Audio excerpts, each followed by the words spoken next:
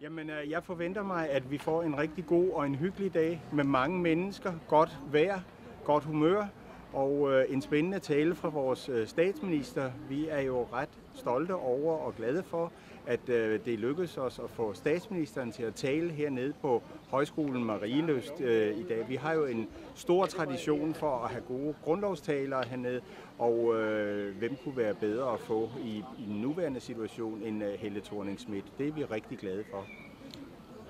Og så synes vi jo samtidig, at vi så er med til at få Guldborgsund og få Marieløst og området her, sådan forstørre lidt op på landkortet. Og det, det trænger vi til hernede, så det er vi faktisk også rigtig glade for. Højskolen her er en højskole, den hedder Højskolen Marieløst for aktive seniorer. Og det er fordi, vi primært henvender os til gruppen fra 60 og op efter. Men vi er en højskole på helt almindelige betingelser, ligesom alle de andre højskoler her i landet. Øh, der er tre skoler i landet, som primært henvender sig til seniorer, og det indebærer, at vi tilbyder korte kurser, det vil sige et uges og to ugers kurser, og det gør vi stort set hele året. Vi har 60 værelser, der kan være 84 mennesker ad gangen. Det er der heldigvis på det hold her, og så underviser vi, ellers underviser vi bredt inden for hele området.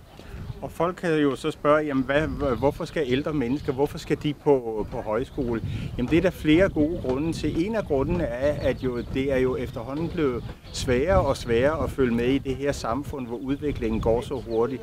Vi kan se i øjeblikket, at øh, øh, det kræver jo, at man skal lære alt muligt IT for at kunne i det hele taget bare øh, gebærde sig i det almindelige samfund.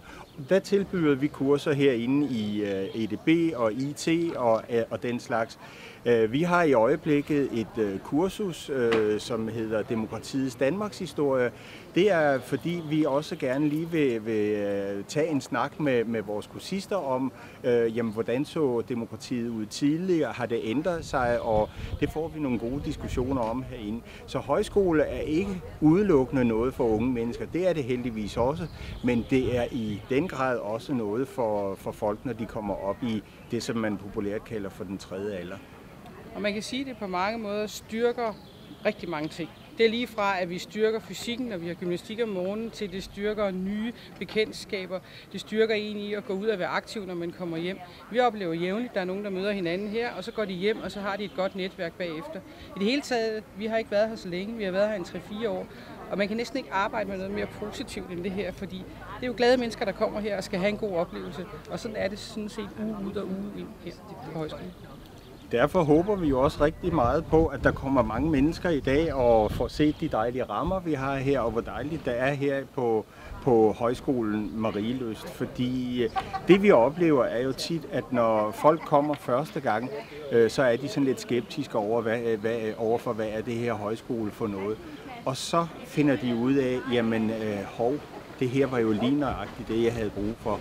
Og så har vi, vi har rigtig mange, der vender tilbage igen og igen og igen. Og heldigvis har vi rigtig mange nye også. Så, så det er også et af formålene med at holde sådan et grundlovsstævn her, det er, at vi bliver kendt udad til os. Ja, det gør han.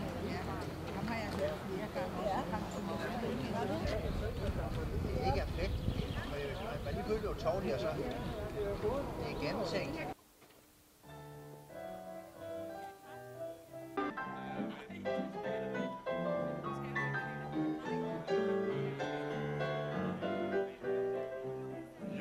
Runde, mine damer og herrer.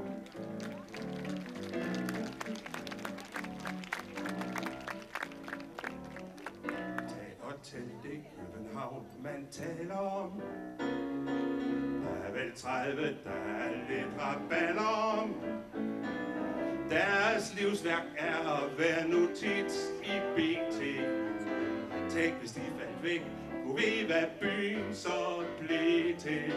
Som folk med rigtig navn Ved hele København. Sikkert savn. Tag og hils dem alle fra mig.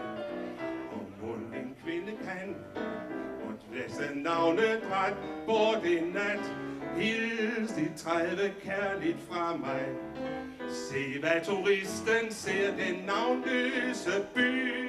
Strømmen som bærer København og dens ry tog sin cykelpiger, et hav af nikkelstyr, sikkepiger, tag og kys dem alle fra mig.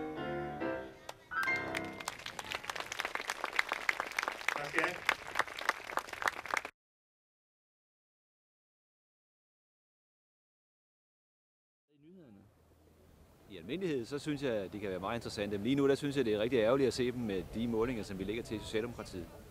Jamen altså, jeg tror sådan set bare, at vi skal fortsætte det, som vi gør. Altså arbejde benhårdt på at øh, få vores politik igennem. Og så, så tror jeg på, at øh, når først resultaterne begynder at vise sig, så får vi også nogle andre meningsmål.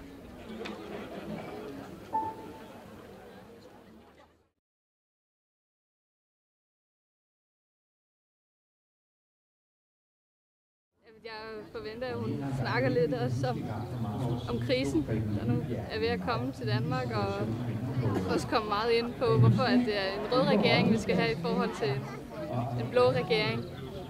Og så også øh, en del om det at, at være dansker, og, det, og fryden ved at være dansk. Jeg har egentlig ikke forventet mig øh, så meget på forhånd, men jeg er da spændt på at høre, hvad vores øh, nye statsminister hun har at sige. Altså, øh, det er det første gang, jeg skal høre Helle Thorning tale, så det er egentlig mere interesse for lige at høre statsministeren.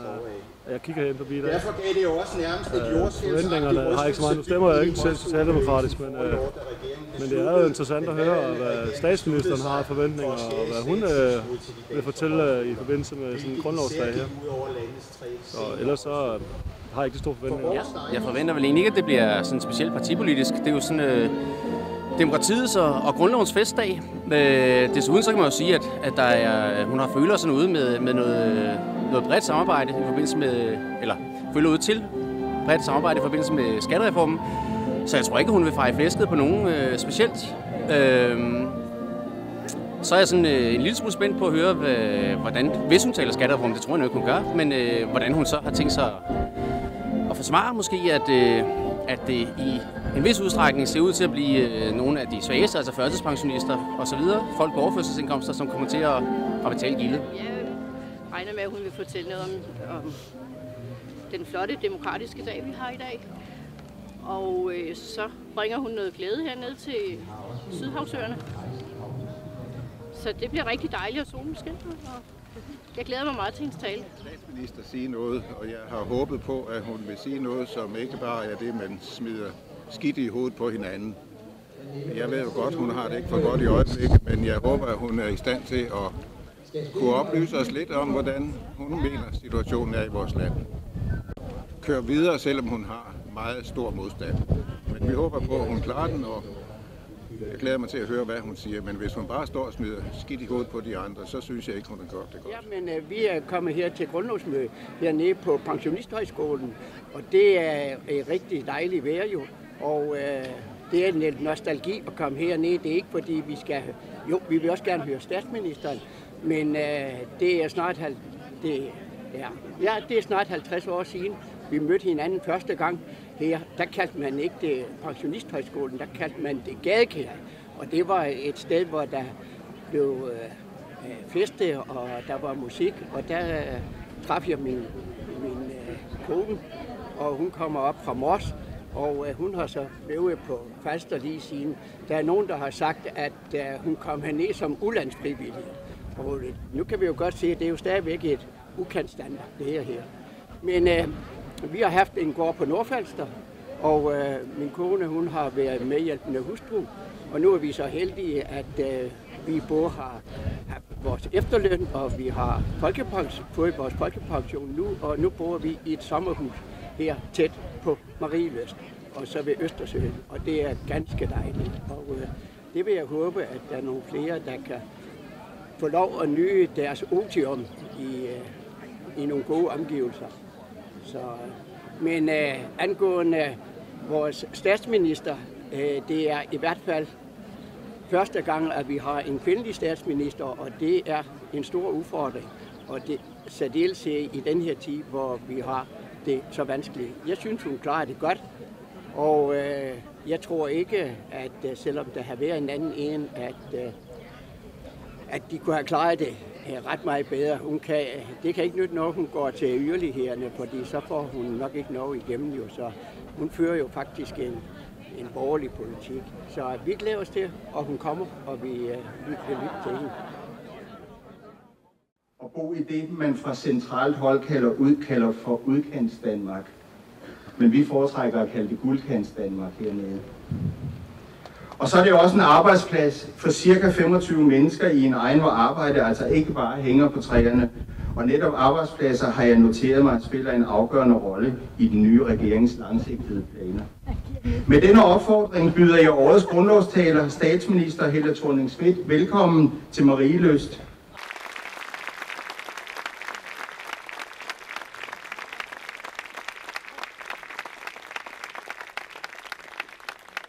I skulle prøve at stå heroppe og se ud over den her herlige forsamling. Det ser rigtig godt ud. Og det minder os om, at vi stadig er mange, som gerne vil møde frem og fejre vores grundlov. Vi kan også godt lide historien om, hvordan vores grundlov egentlig blev til. Fordi på mange måder så siger historien om grundlovens tilblivelse også rigtig meget om øh, os som folk og som nation. For det foregik i fred og ro. Krudt og kugler var der ikke meget af. Overgangen fra enevælde til almenvælde, det foregik i al fredsommelighed i 1848. Og den 5. juni 1849, der fik Danmark så sin grundlov. I virkeligheden, så bliver man nogle gange overrasket, hvis man står med grundloven i hånden. Fordi det er kun en ganske beskeden samling af paragrafer. Ja, faktisk fylder den kun lidt mere end 4.000 ord. Det er vel sådan to-tre skolestil lagt sammen. 89 paragrafer i alt. Til sammenligning kan jeg sige, at færdselsloven indeholder 140 paragrafer, og loven om finansiel virksomhed indeholder 400 paragrafer. Men selvom den her lille sag, grundloven, den hører en til en af vores mindste, så er dens betydning for os danskere uden sidestykke. For med den fik vi jo vores grundlæggende rettigheder samlet i en forfatning. Retten til at tale, retten til at stemme, retten til at tro, ukrænkelige rettigheder. Men det, som for alvor giver vores grundlov saft og kraft, det er den måde, vi i Danmark har valgt at bruge den på. Grundloven er i sin kerne en måde at løse uoverensstemmelser på. Der findes jo andre lande, lande, hvor demokratiet også bliver brugt til at gøre afstanden mellem holdninger og mennesker større, hvor reglerne bliver brugt til at fremme et og kun et bestemt synspunkt. Hvor det at lytte til hinanden bliver opfattet som forvirret, og hvor den simple erkendelse, at vi har brug for hinanden, også når vi træffer beslutninger, bliver stemplet som svaghed. I Danmark har vi truffet et andet valg. Vi har brugt grundloven til at skabe et i historisk lys enestående samfund. Et samfund, hvor mennesker ikke bøjer nakken, hvor de bliver, når de bliver spurgt om deres mening, men tværtimod rækker hånden op. Hvor vi generation efter generation har været i stand til at overlade et rigere og et stærkere Danmark til dem, der kommer efter os. Og hvor vi kærer os om alle. Ikke kun vores nærmeste familie eller dem, vi kender rigtig godt, men hele Danmark. Vi har skabt noget unikt sammen. Vi har skabt en hel nation. Og det har vi netop gjort i fællesskab. Der findes ikke et parti, eller en gruppe, eller en politisk kraft, som kan tage hele æren for det, vi har skabt i Danmark. Tværtimod, vi har fundet styrke i at dele ansvaret med hinanden. Vi har fundet de rigtige løsninger ved at bøje os mod hinanden. Og ved at række ud efter det fælles bedste, er vi nået længere, end nogen havde troet muligt. Det er styrken ved det danske demokrati. Vi er bedst, når vi står sammen. Det galt også for mange år siden. Det galt i 30'erne, hvor politikerne samledes i statsministerens lejlighed på Østerbro, og i bogstaveligste forstand fandt løsninger sammen i sidste time. Det galt i årene efter 2. verdenskrig, hvor vi i fællesskab byggede vores velfærdssamfund. Det galt i 80'erne, hvor lønmodtagerne og arbejdsgiverne satte sig sammen og i fællesskab påtog sig et ansvar for at forbedre virksomhedernes konkurrenceevne. Det galt i 90'erne, hvor store og brede politiske aftaler var med til at få bugt med den massearbejdsløshed, der var dengang. Og det var den samme beslutsomhed, der stod bag de aftaler, vi lavede i starten af nullerne, velfærdsaftalen som den brede aftale i vores årti. Og hver gang, er de her beslutninger blevet båret igennem, ikke på trods af danskerne, men på grund af dem. For vores befolkning, vi ved jo godt, at der ikke findes snuptagsløsninger for at få tingene ordnet. Men at mange løsninger kræver noget af os alle sammen. Danskerne de ved godt, at nemme løsninger sjældent er de langsigtede og holdbare løsninger. Og danskerne ved også godt, at når det gælder, så har vi brug for at stå sammen. I dag befinder Danmark sig i en hård økonomisk virkelighed. Det er en virkelighed, som ikke bare vil præge resten af året, men resten af vores årti. Vi har mistet 170.000 arbejdspladser på ganske få år, og store overskud er blevet vendt til historiske underskud. Og derfor så kommer vi alle sammen, og selvfølgelig også os politikere, til at træffe svære valg. Og det første valg, vi skal træffe, er, om vi vil løse opgaven i fællesskab, eller om vi tror, vi gør det bedre hver for sig. Vil man tilsidesætte retorikken for resultaterne? Har man mod til at sige til sine egne, vi fik det ikke præcis som vi gerne ville, men den løsning, vi står bag, er et stort skridt i den rigtige retning. Og den kan bidrage til at give tryghed til befolkningen.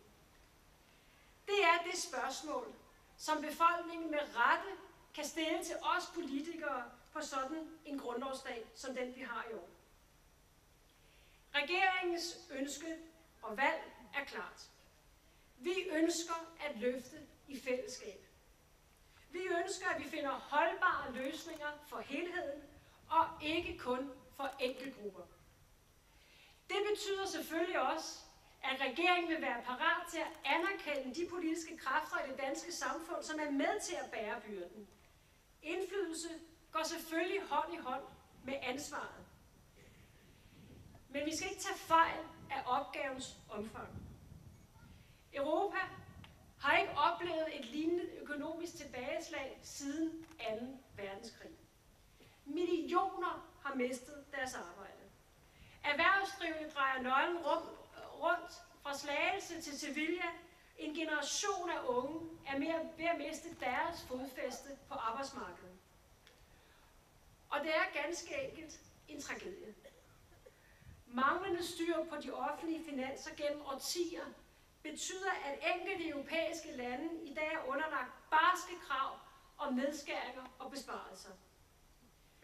Så hårdt er det heldigvis ikke i Danmark. Men vi ved jo også godt, at det, der sker i Europa, det også har betydning for Danmark. Virksomhederne mangler stadig ordre. Det er sværere at finde job og skabe job. Der bliver stillet nye og større krav til netop vores økonomi. Og opgaven bliver jo heller ikke mindre af, at Danmark ikke var ordentligt forberedt til dårlige tider. Da andre de blev bedre, så blev vi desværre dyrere.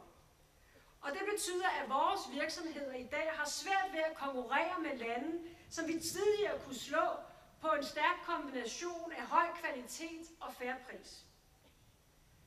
Og jeg spørger bare, hvem rammer det hårdest? Jo, aktionærerne de kan nok mærke det på årsregnskabet. Og måske bliver bonusen ikke helt så stor i chefkredsen. Men det rammer selvfølgelig først og fremmest de mennesker, der mister deres job. Dem, der mister deres job, når virksomheden skærer ned eller drejer nøglen rundt. Sådan er det. Og som sagt, vi har mistet 170.000 job inden for de seneste år i den private sektor. Og desværre, så er det ikke arbejdspladser, som bare kommer tilbage af sig selv. Og det siger vel egentlig alt om, hvad det er for en opgave, vi står overfor. Regningen var ikke betalt. På samme måde som vi ikke fik styrket vores konkurrenceevne i tide, så har vi heller ikke taklet det faktum, at det bliver dyrere når vi i Danmark bliver flere ældre og færre til at betale for velfærden. I begyndelsen af nullerne, så var der fire mennesker i arbejdsstyrken for hver gang der var en pensionist. I 2020, og det er jo lige om hjørnet, så vil der være tre mennesker i arbejdsstyrken for hver gang der er en pensionist. Og jeg tror egentlig, at alle kan se, at det ikke er holdbart, hvis vi gerne vil bevare en ordentlig omsorg for vores ældre. Det er ikke holdbart, hvis vi bevarer og udvikle et gratis og godt sundhedstilbud til alle mennesker. Og det bliver selvfølgelig også sværere at få råd til den uddannelse, som vi ønsker at give vores børn, så de kan få det bedste skub ind i arbejdslivet. Der er mange måder at løse den udfordring på.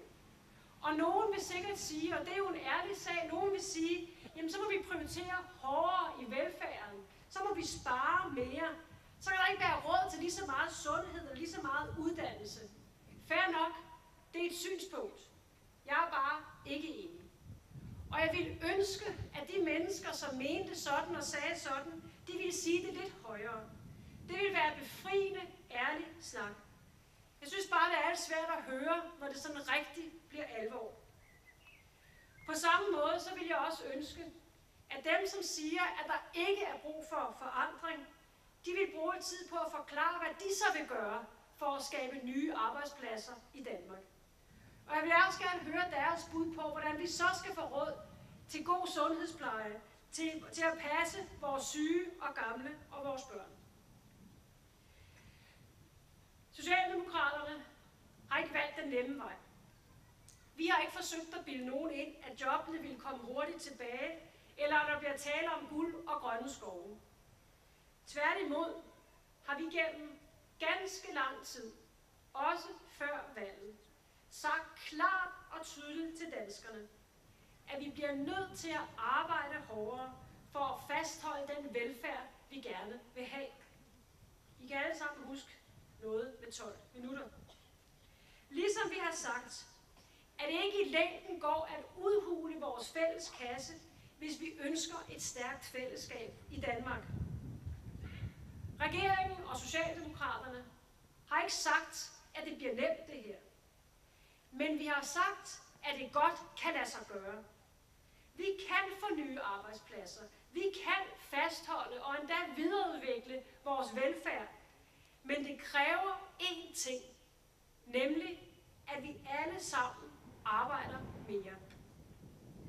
Hvis vi alle sammen arbejder mere, hvis, der, hvis flere kommer i job i de kommende år, så bliver der råd til at betale for ældreplejen.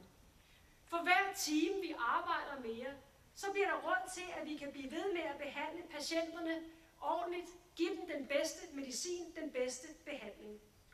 Så bliver der råd til, at vores børn ikke skal rode med de samme skolebøger, som vi selv havde, da vi gik i skole. Og der bliver råd til, at de mennesker, som fik mindst uddannelse med sig ind i arbejdslivet, de kan få ny, ny uddannelse og mere med sig. Og der bliver også råd til at investere i den forskning og udvikling, som også er grobunden for, at vi kan have konkurrencekraft. Men det kræver som sagt én ting, nemlig at vi alle sammen arbejder mere. Det har jeg efterhånden sagt igennem flere år nu. Og det samme har andre politikere og økonomiske eksperter. Igen og igen er det blevet sagt. Men der er også mange, der har sagt til mig, at de simpelthen ikke fatter det budskab i en tid, hvor der samtidig er høj arbejdsløshed. Og det forstår jeg egentlig godt. For det lyder da lidt mærkeligt for den helt almindelige dansker, at vi skal arbejde mere, hvis de samtidig oplever, at der ikke er brug for dem på arbejdsmarkedet, eller at naboens søn ikke kan få en praktikplads, eller at der er store fyringsrunder på hæderkronede virksomheder, eller at arbejdspladser bliver flyttet ud af Danmark. Og til dem vil jeg sige, jeg forstår godt, at det lyder mærkeligt. Jeg forstår godt, at det lyder mærkeligt, at regeringen beder om at arbejde mere, når der er andre og måske større udfordringer her og nu. Og måske har vi og jeg selv heller ikke altid været så gode til at fortælle, hvorfor det forholder sig sådan. Men regeringens opgave er at gøre to ting på én gang. Vi skal skabe grobund for vækst og nye arbejdspladser her og nu. Og vi skal samtidig sikre, at Danmark er klar til det næste opsving. For hvis vi ikke er klar til den næste økonomiske bølge, det næste opsving, så kan vi være helt sikre på, at det flader ud lige så hurtigt, som det er kommet. For bundlinjen er, at vi om meget få år kommer til at mangle arbejdskraft. Der er mange lærere i vores skoler, dygtige metalarbejdere i industrien, dygtige håndværkere til de store infrastrukturprojekter, og jeg kunne blive ved. Og hvis vi ikke allerede går i gang nu med at finde løsningerne, så svigter vi vores opgave. Hvis vi ikke allerede arbejder mere nu, så vi kan styrke konkurrenceevnen, så risikerer vi simpelthen, at det næste opsving, det stille og roligt svæver forbi Danmark. Og jeg erkender, at det ikke er noget enkelt budskab. Men jeg synes samtidig, at regeringen vil svigte vores ansvar over for befolkningen, hvis vi ikke bliver ved og ved at sige det her. Vi svigter vores ansvar, hvis vi ikke fortæller præcis, hvor alvorlig situationen er i dansk økonomi. Og derfor bliver vi ved. Og vi insisterer på, at vi får truffet de svære valg i tiden. Også selvom vi får nogle klods for det. Vi insisterer på at tale op til danskerne. Og vi insisterer på at tale op til den tradition, vi har i Danmark for at træffe de rigtige beslutninger på de rigtige tidspunkter. Selvom det kræver noget af os alle sammen. Og det tidspunkt er nu. Det er derfor, regeringen har indkaldt til trepartsforhandlinger med arbejdsgivere og lønmodtagere. Det var præcis, i, dag, i år er det præcis 25 år siden, at vi fik den såkaldte fælleserklæring, som banede vejen for verdens mest robuste og solidariske pensionssystem. Det var en aftale, som sikrede jobfest i Danmark i stedet for lønfest. Og der er heller ikke nogen tvivl om, at vi i dag høster frugterne af beslutninger, som blev truffet for mange år siden. Og det er også derfor, at regeringen har fremlagt et samlet og fuldt finansieret bud på lettelse af skatten på arbejde. For når den helt almindelige lønmodtager skal arbejde mere, så skal det også kunne betale sig. Og hvis den enlige mor arbejder en time ekstra, så skal hun selvfølgelig også kunne se det på lønsedlen, når den første kommer. Med skattereformen der ønsker regeringen, at samtlige 3 millioner danske lønmodtagere får en skattelettelse. Og det er derfor, at vi fordobler beskæftigelsesfradraget. Og vi ønsker, at 250.000 danskere bliver løftet ud af topskatten. Det er også godt for dansk økonomi. Og vi ønsker også at give en håndsrækning til dem, som vi i flere år har talt om at hjælpe, men hvor det måske er blevet lidt for meget ved snakken og de ædle intentioner. Nu har vi muligheden. Muligheden for at hjælpe de fattigste pensionister og de enlige forsørgere.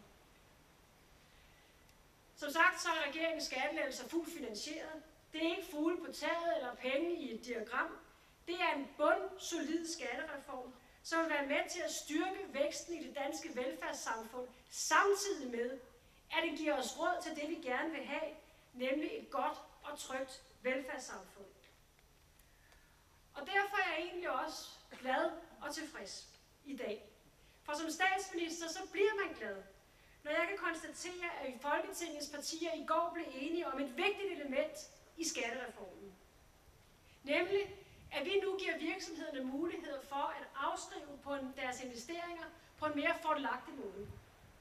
Det er et forslag, som vil give virksomhederne derude i Produktionsdanmark et rygstød, og som ikke mindst vil være med til at skabe 7.500 arbejdspladser til næste år. I går så så vi, at Folketingets partier var i stand til at lægge uenighederne til side. Vi så, at Folketingets partier var i stand til at sætte sig ud over, hvad de hver især havde sagt tidligere. Væk var valgkampen, ind kom alvoren. I går viste vi befolkningen, at vi er i stand til at løfte det ansvar, vi er blevet betroet. Og på den måde, så var det et godt afsæt til at vise, hvad vores grundlov er. Vi levede op i ånden i det danske folkestyre. Vi brugte grundloven på den bedst tænkelige måde. Til gavn for Danmark. Kan I have en fortsat rigtig god grundlovsdag.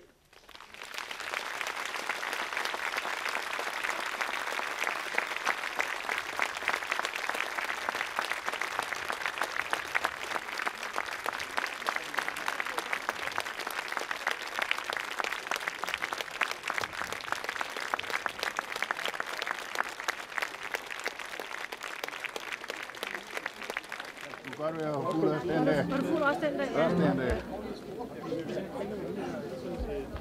Sådan, værsgo. Ja. Får du den igen? Ja, jo, din. Ja, ja. Jeg kunne også stjæle for dig, jo. Ja.